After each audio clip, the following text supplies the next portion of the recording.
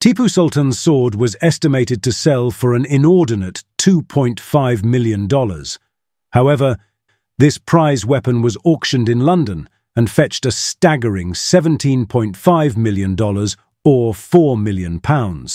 This not only breaks the highest price paid for a single sword, but also sets a new world record for any Indian Islamic object. If you are quick and do a Google search today, you will find the Sword Encyclopedia list the most expensive sword ever sold as the 18th century Boteng saber. Sold in auction twice, originally for $5.93 million in 2006 and for $7.7 million AN in 2008, it features decorations and inscriptions alluding to the Chinese Emperor Qianlong of the Qing dynasty. Tipu Sultan's legendary bedchamber sword was sold at Bonhams Islamic and Indian art sale in London. The prize weapon, which was estimated to fetch between 1.5 million to 2 million pounds, ended up reaching 14 million pounds or 17.5 million USD at the sale in London, breaking the records. So what has made it so valuable? According to Bonhams website, in Oliver White, an auctioneer and the head of Islamic and Indian art, said the sword demonstrates outstanding craftsmanship. This is why White describes the sword as unique and highly desirable. White added that it is also the greatest of all the weapons linked to Tipu Sultan still in private hands, and as such, the antique weapon is truly spectacular, concluded the auctioneer.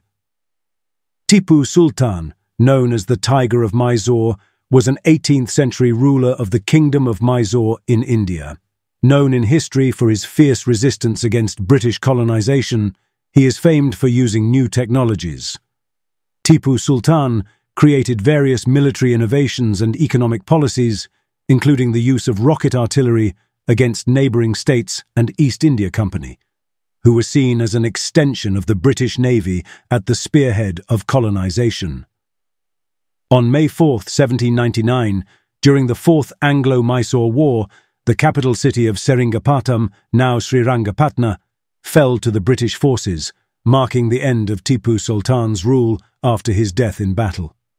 With his reign ended, so too did the Fourth Anglo-Mysore War, to which time the sword's provenance can be traced.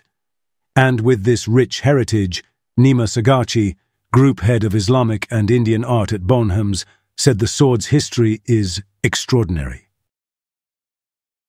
This unique weapon attracted the attention of two telephone bidders working for antiquities buyers, who engaged in what is described as a hot contest for the iconic weapon.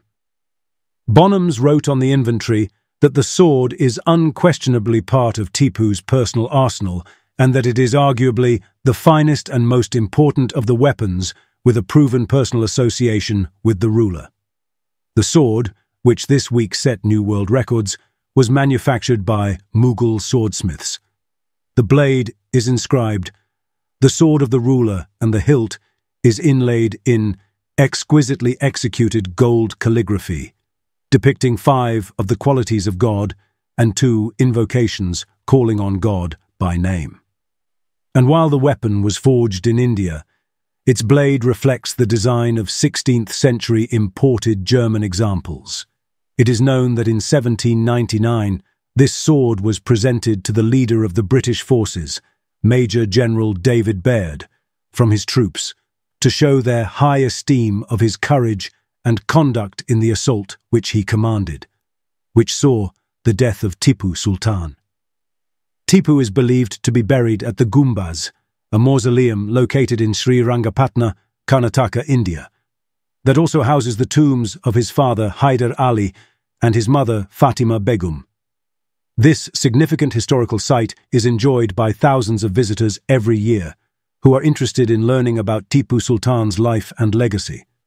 However, the legendary warrior's sword will now vanish into the private collection of an anonymous billionaire, maybe never to be seen again.